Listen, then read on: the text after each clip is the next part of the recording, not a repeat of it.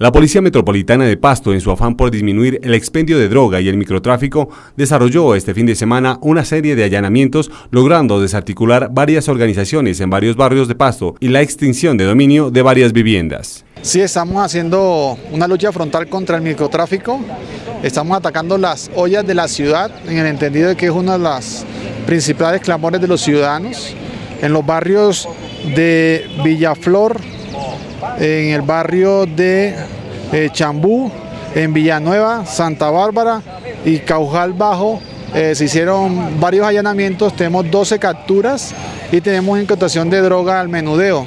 Eso es una lucha frontal que tenemos contra la soya o el microtráfico y lo que va recorrido del año, en estos 45 días llevamos más de 150 personas, las cuales han estado procesadas ante la Fiscalía General de la Nación.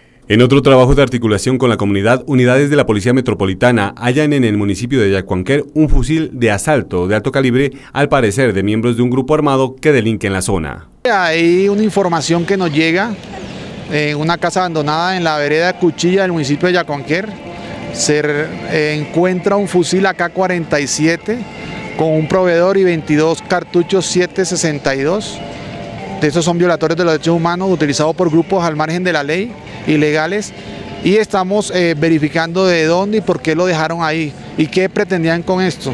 Esto es un fusil que, sirve para secuestrar, asesinar y, cometer actividades ilegales y de pronto están tratando de llegar eh, prontamente a esta jurisdicción para tomar posesión de, la zona, pero afortunadamente con la colaboración de la comunidad se pudo dar este grupo y neutralizar eh, esta posible acción terrorista.